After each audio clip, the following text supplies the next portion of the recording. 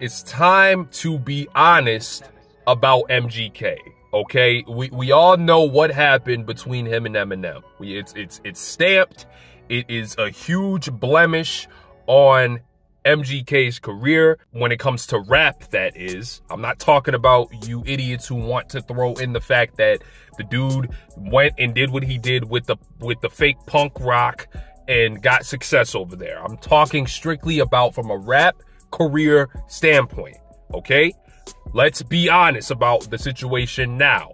MGK went and did what he did, got success, and is now coming back.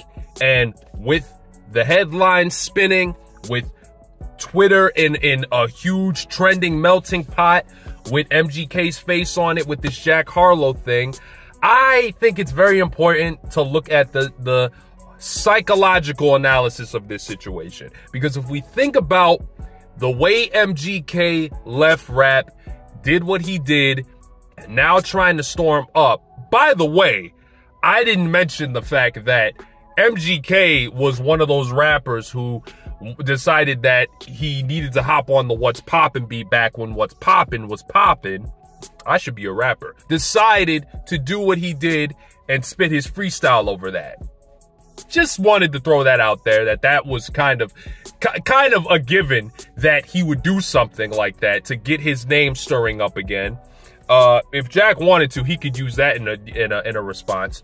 But you guys swear swear that I'm the biggest Jack Harlow fan.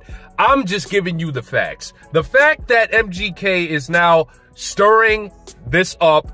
He said what he said in response to the Killshot diss you remember that embarrassing Breakfast Club interview that he did where he went on and he tried to pass it off like that wasn't that big of a blemish on his rap career? You remember that?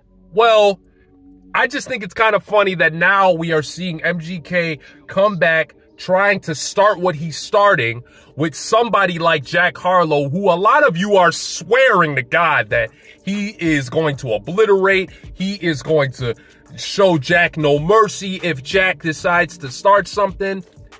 Come on now, let's be honest about the situation. Some of you are in these comments saying that Jack is a frat rapper, that he is a frat boy rapper. And that might be true to a certain degree. But think about that. The fact that MGK said what he said about the response to Killshot, that he had a response, he decided not to respond, and now all of a sudden we are getting this this stir of conflict now with Jack calling Jack out his name, coming and trying to stir that pot up because Jack is the hottest out right now. Is it really, really going to make MGK look like that he's the hottest thing when in reality he turned down what he turned down with Eminem. He swears that he had a he had a response for Killshot, but didn't unload it because Killshot was so terrible.